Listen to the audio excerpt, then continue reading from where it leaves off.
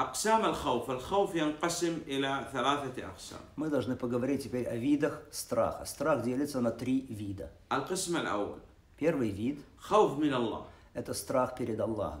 نخاف من الله لأن نعبد الله ولا نعبد غير الله Мы боимся Аллаха, потому что мы поклоняемся Аллаху и никому наряду с Ним. فمن خاف من أصحاب القبور كخوفه من الله Если человек боится мертвых, тех, которые лежат в могилах, так же, как боится Аллаха, أو خاف من الجن كخوفه من الله или боится джинов, так же, как боится Аллаха, هذا هو الشرك الأكبر то это большой щит, большое многобожие. القسم الثاني من الخوف Второй вид страха خوف جائز طبيعي – это дозволенный, естественный страх. Например, мы боимся грабителей.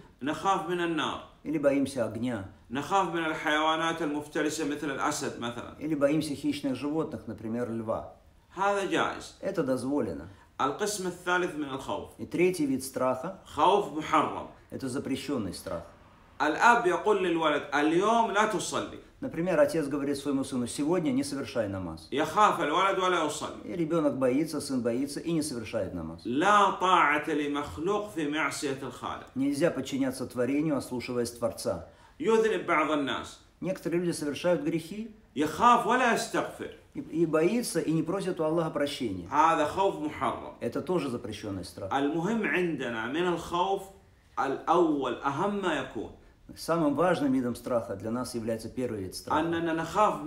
Что мы боимся Всевышнего Аллаха. И не боимся никого так же, как боимся Всевышнего Аллаха.